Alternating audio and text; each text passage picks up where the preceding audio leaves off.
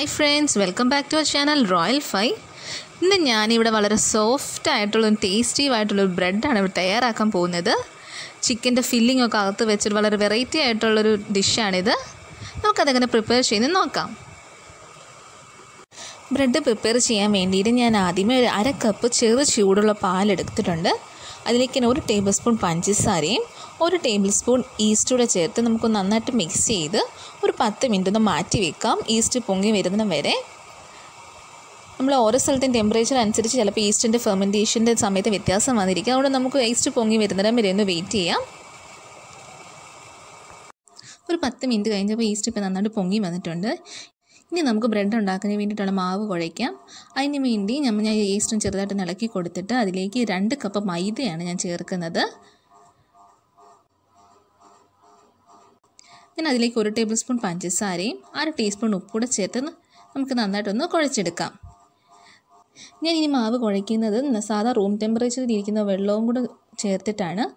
നമുക്ക് പാൽ ചേർത്തിട്ടാണെങ്കിലും കുഴച്ചെടുക്കാം. ഇതിപ്പോൾ ഞാൻ ബ്രെഡ് വെള്ളം ഉപയോഗിക്കുന്നതേ ഉള്ളൂ. പാൽ ചേർക്കുമ്പോൾ ബ്രെഡിന് വേറൊരു ടേസ്റ്റ് തന്നെ ആയി വരുന്നുണ്ട്.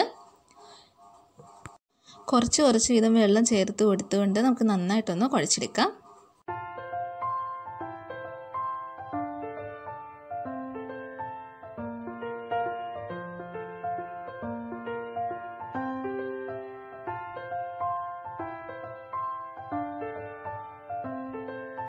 ഇനി ഞാൻ ഇതിലേക്ക് ഒരു ടേബിൾ സ്പൂൺ സാധാ വെജിറ്റബിൾ ഓയിലൂടെ ചേർത്ത് കൊടുക്കുകയാണ്.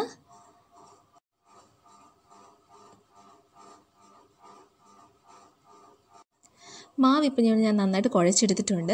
ഇനി നമുക്കിതൊരു ഫ്ലാറ്റ് സർഫേസിലേക്ക് ഇട്ടിട്ട് നന്നായിട്ട് കുറേ നേരം ഇട്ടൊന്ന് കുഴച്ചെടുക്കണം. നമ്മുടെ ഈ മാവ് ഇപ്പം നമ്മുടെ കയ്യിൽ ഒട്ടിപ്പിടിക്കുന്ന പരുവത്തിലാണ്. നമ്മളിത് കുഴച്ച് കുഴച്ച് ആവശ്യത്തിന് കുറച്ച് മൈദയും എണ്ണയും കൂടെ ചേർത്ത് നന്നായിട്ട് കുഴച്ച് കയ്യിൽ ഒട്ടി പിടിക്കാത്ത പരുവ വരുന്നത് വരെ നമ്മൾ നന്നായിട്ട് ഇതൊന്ന് കുഴച്ചെടുക്കണം. അത് ഏകദേശം ഒരു പതിനഞ്ച് ഇരുപത് മിനിറ്റോളം നമ്മൾ ചിലപ്പോൾ ഇതെടുക്കും. നമ്മൾ നന്നായിട്ട് മിക്സ് ചെയ്ത് കയ്യിൽ ഒട്ടിപ്പിടിക്കാതെ താഴെ നമ്മളിട്ട് സർഫസിലൊന്നും ഒട്ടിപ്പിടിക്കാത്ത പോലെ നമുക്ക് മാവ് ആക്കി കിട്ടണം.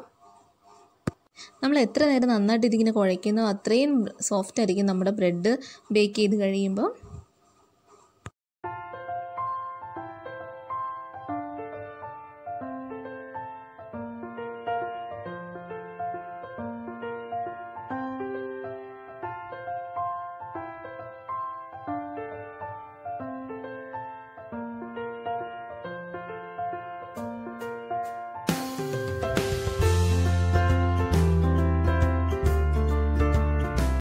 നമ്മുടെ മാവ് ഇപ്പോൾ ഒരു പത്ത് മിനിറ്റ് എടുത്ത് ഞാൻ കുഴച്ചപ്പോൾ നല്ല സോഫ്റ്റും ആയിട്ടുണ്ട്. പൊട്ടി കയ്യിലൊന്നും ഒട്ടിപ്പിടിക്കുന്നുമില്ല.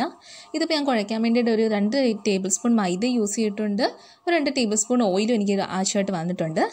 നമുക്കിനി ഇതൊരു ബൗളിലേക്ക് വെച്ചിട്ട് റെസ്റ്റ് ചെയ്യാൻ വേണ്ടിയിട്ട് മാറ്റി വെക്കാം. ഇത് ഏകദേശം ഒരു ഒന്നര മണിക്കൂർ ഒന്നര തൊട്ട് രണ്ട് മണിക്കൂറെങ്കിലും എടുക്കും നല്ലപോലെ ഒരു പൊങ്ങി വരാൻ വേണ്ടിയിട്ട് ഇനി നമുക്ക് ബ്രെഡിനകത്ത് വെക്കാനുള്ള ഫില്ലിംഗ് റെഡിയാക്കാം അതിനിടെ ഞാൻ ഇപ്പോൾ ഒരു പാൻ ചൂടാൻ വെച്ച് അതിലേക്ക് ഒട്ടി ഇപ്പോൾ സ്പൂൺ ഓയിലോട് ചേർത്തിട്ടുണ്ട്. ഇനി ഞാൻ അതിലേക്ക് അരിഞ്ഞ് വെച്ചിരിക്കും ചെറുതായിട്ട് ചോപ്പ് ചെയ്ത് വെച്ചിരിക്കുന്ന ഒരു സവോളയാണ് ചേർത്ത് കൊടുക്കുന്നത്. സവോള നമുക്ക് കുറച്ചൊരു കുറച്ച് ഉപ്പൂടെ ചേർത്ത് നന്നായിട്ടൊന്ന് വഴറ്റിയെടുക്കാം. സവോള ഒന്ന് വഴന്ന് വന്നപ്പോൾ ഞാൻ അതിലേക്ക് മസാലകൾ ചേർത്ത് കൊടുക്കുകയാണ്. ഞാൻ അതിലേക്ക് ആദ്യമേ അര ടീസ്പൂൺ മഞ്ഞൾപ്പൊടി ഒരു ടീസ്പൂൺ ഗരം മസാല രണ്ട് ടീസ്പൂൺ മുളക് പൊടി പിന്നെ ആവശ്യത്തിന് കൂടി ചേർത്ത് നമുക്ക് നന്നായിട്ടൊന്ന് വഴറ്റിയെടുക്കാം.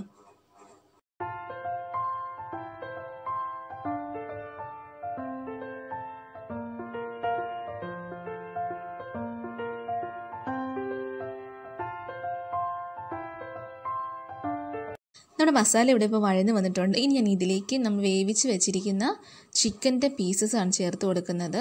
ഇത് ഇരുന്നൂറ്റമ്പത് ഗ്രാം ചിക്കൻ ഞാൻ ഉപ്പും മഞ്ഞളും കുരുമുളകും ഇട്ട് വേവിച്ചത് ചെറിയ പീസാക്കി എടുത്തതാണ്.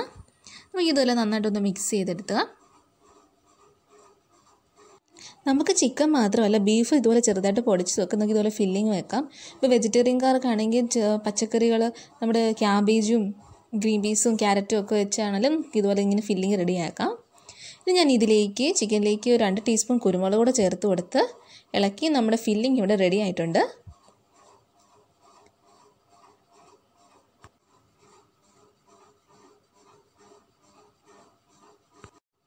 നമ്മുടെ മാവ് ഇപ്പോൾ ഇവിടെ ഒന്നര മണിക്കൂറൊക്കെ ആയപ്പോൾ ഇതുപോലെ നന്നായിട്ട് പൊങ്ങി വന്നിട്ടുണ്ട്. ഇനി ഈ മാവ് നമ്മൾ ഒരുപാട് നേരം ഇട്ടൊന്ന് കുഴച്ച് മിക്സ് ചെയ്യേണ്ട കാര്യമില്ല. ചെറുതായിട്ടൊന്ന് കുഴച്ച് ആ എയർ ബബിൾസ് ഒക്കെ ഒന്ന് കളഞ്ഞാൽ മതി.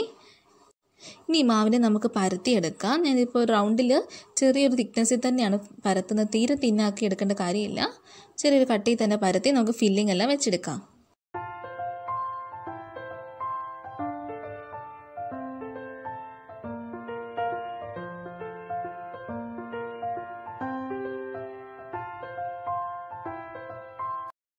ഇനി ഇതിന്റെ സെന്റർ പോർഷൻ കണ്ട് നമ്മൾ തയ്യാറാക്കി വെച്ച ഫില്ലിംഗ് കൂടെ വെച്ച് കൊടുക്കാം. മാവ് പരത്തുമ്പോൾ പ്രത്യേകം ശ്രദ്ധിക്കണം. ഒരുപാട് തിന്നാക്കി പോയാൽ നമ്മൾ ഫില്ലിംഗ് കൂടെ വെച്ച് കഴിയുമ്പോൾ അത് പൊ പെട്ടെന്ന് പൊട്ടിപ്പോകും. അതുകൊണ്ട് ചെറിയൊരു തിക്നെസ് വെച്ച് തന്നെ നമുക്കിത് പരത്തിയെടുത്താൽ മതി.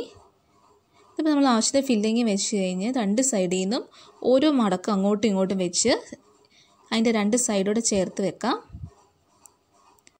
ഇവിടെ ഞാനിപ്പോൾ ബ്രെഡ് ബേക്ക് ചെയ്യാൻ വേണ്ടിയിട്ട് ഒരു ബ്രെഡ് മോളിൽ നോൺ സ്റ്റിക്കിന്റെ എടുത്തിട്ടുണ്ട്. അതിൽ ഞാൻ കുറച്ച് ഓയിൽ ബ്രഷ് ചെയ്ത് കൊടുത്തിട്ടുണ്ടായിരുന്നു ഓൾറെഡി ഇനിയിപ്പോൾ നമുക്ക് ആ മുകളിലേക്ക് എടുത്ത് വെച്ചിട്ട് ഒരു അരമണിക്കൂറോടെ നമുക്ക് റെസ്റ്റ് ചെയ്യാൻ വേണ്ടി സമയം കൊടുക്കണം ബ്രെഡിന്. എങ്കിൽ കുറച്ചുകൂടെ ഒന്ന് ഫ്ലഫി ആയിട്ട് പൊങ്ങി വരാൻ വേണ്ടിയിട്ട്. ഇനി നമുക്കിതൊരു അരമണിക്കൂർ ഒരു വെറ്റ് ക്ലോത്തിട്ട് മൂടി മാറ്റി വെക്കണം. എങ്കിൽ നന്നായിട്ട് പൊങ്ങിയൊക്കെ വരുള്ളൂ. ഒരു മുപ്പത്തഞ്ച് മിനിറ്റ് കഴിഞ്ഞ് നോക്കിയപ്പോൾ നമ്മുടെ മാവ് ഡബിൾ സൈസ് ആയിട്ടുണ്ട്. ഇനി ഞാനിവിടെ മിൽക്ക് വാഷാണ് ചെയ്യുന്നത് നമുക്ക് എഗ് വാഷ് ആണെങ്കിലും ചെയ്ത് കൊടുത്താൽ മതി. ഇതിപ്പോൾ ഞാൻ പാലാണ് ഒന്ന് ബ്രഷ് ചെയ്ത് കൊടുക്കുന്നത്. എല്ലായിടത്തും ഒന്ന് ബ്രഷ് ചെയ്ത് കൊടുത്തിട്ട് നമുക്ക് ഞാനിവിടെ ഇപ്പോൾ ഓവൻ പ്രീഹീറ്റ് ചെയ്യാൻ വെച്ചിട്ടുണ്ടായിരുന്നു ഒരു പത്ത് മിനിറ്റ്. എന്നിട്ട് നമുക്ക് ഇതിന്റെ നേരെ പ്രീ ഹീറ്റ് ചെയ്ത് കഴിയുമ്പോൾ ഓവനിലേക്ക് വെച്ച് ബേക്ക് ചെയ്തെടുക്കാം. നമ്മുടെ ഓവൻ ഇപ്പോൾ വൺ സെവന്റി ഡിഗ്രിയിലിട്ട് ഒരു ട്വന്റി മിനിറ്റ്സ് ടൈം സെറ്റ് ചെയ്തിട്ടാണ് ഞാൻ ബേക്ക് ചെയ്യാൻ വെക്കുന്നത്. നമ്മുടെ ബ്രെഡ് ഇവിടെ ഇപ്പോൾ ബേക്ക് ചെയ്ത് കിട്ടിയിട്ടുണ്ട്. ട്വന്റി മിനിറ്റ്സ് ആയപ്പോൾ തന്നെ നന്നായി നല്ലൊരു ലൈറ്റ് ബ്രൗൺ കളറായിട്ട് ബ്രെഡ് കറക്റ്റായിട്ട് പരുവത്തി വെന്ത് വന്നിട്ടുണ്ടായിരുന്നു. ഞാനൊരു മൂന്ന് മിനിറ്റ് എക്സ്ട്രാ വെച്ചപ്പോഴാണ് ഇതിങ്ങനെ ഡാർക്ക് ബ്രൗൺ കളറായത് ഇതിപ്പോൾ എല്ലാ സൈഡും നന്നായിട്ട് മൊരിഞ്ഞെല്ലാം വന്നിട്ടുണ്ട്. ഇനി നമുക്കിതൊന്ന് കട്ട് ചെയ്ത് നോക്കാം. നമ്മൾ ഓവനിൽ ബേക്ക് ചെയ്യാൻ വെച്ച് കഴിഞ്ഞ് ഒരു ഫിഫ്റ്റീൻ മിനിറ്റ്സ് ആകുമ്പോൾ തൊട്ട് നമ്മൾ നോക്കണം. നമുക്ക് വേ ഫിഫ്റ്റീൻ മിനിറ്റ്സ് ആകുമ്പോൾ തന്നെ അത് വെന്തിട്ടുണ്ടാവും. പിന്നെ നമുക്ക് വേണ്ടുന്ന ആ ഒരു കളർ വരുന്ന അനുസരിച്ച് നമുക്കിത് ഓവനിൽ നിന്ന് മാറ്റാം. ഇതിപ്പോൾ കട്ട് ചെയ്ത് കഴിഞ്ഞ് നോക്കുമ്പോൾ അകത്ത് നല്ല സോഫ്റ്റ് ആയിട്ടുണ്ട്. ബ്രെഡ് വെന്തിട്ടുമുണ്ട്. നമ്മൾ മുറിച്ച് കഴിഞ്ഞ് നോക്കി കണ്ടാൽ അറിയാം നല്ല സോഫ്റ്റ് ആയിട്ട് അതുപോലെ നന്നായിട്ട് വന്നിട്ടുണ്ട്. നമുക്ക് വീട്ടിൽ തന്നെ ഉണ്ടാക്കാൻ പറ്റിയ വളരെ ഈസി ആയിട്ടുള്ളൊരു വെറൈറ്റി ആയിട്ടുള്ള ഡിഷാണിത് പ്രൂഫ് ചെയ്യാൻ വേണ്ടിയിട്ട് കുറച്ച് കുറച്ച് സമയം എടുക്കുമെന്നല്ലാതെ വേറെ നമുക്ക് അധികം ഒത്തിരി ഇൻഗ്രീഡിയൻസ് ഒന്നും ഇതിന് ആവശ്യമായിട്ടും വരുന്നില്ല.